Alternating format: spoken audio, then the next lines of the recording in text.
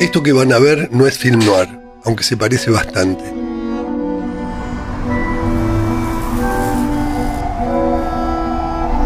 El film noir tiene víctimas, victimarios, una femme fatal y una investigación que lleva el hilo de la trama descubriendo pruebas. Es el detalle que diferencia esta historia. El primero de septiembre de 2022, a las 20.52 horas, en la esquina de Juncal y Uruguay del barrio de Recoleta de la ciudad de Buenos Aires, la dos veces presidenta y por entonces vicepresidenta argentina llegaba a su domicilio donde le esperaba una multitud. Nadie sabía que entre toda esa gente había alguien armado, que venía haciendo inteligencia junto a su novia, haciéndose pasar por vendedores de copos de azúcar para esa noche apuntar a la cabeza de la vicepresidenta y gatillar. El disparo no salió. El tirador fue capturado. La cómplice escapó. Esa noche, la jueza a cargo de la investigación y su equipo no durmieron.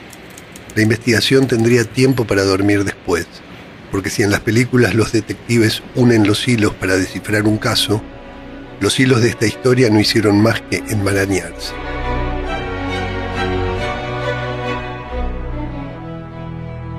El celular del tirador fue misteriosamente despojado de su memoria.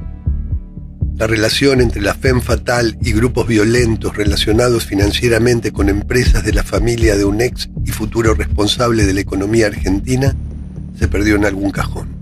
Un diputado cercano a la ex y futura ministra de Seguridad de la Nación fue escuchado en el café Casa Blanca diciendo, cuando la maten, yo estoy en camino a la costa. La denuncia se esfumó en el aire. En esta historia nada cierra. Quizás sea porque no es una película.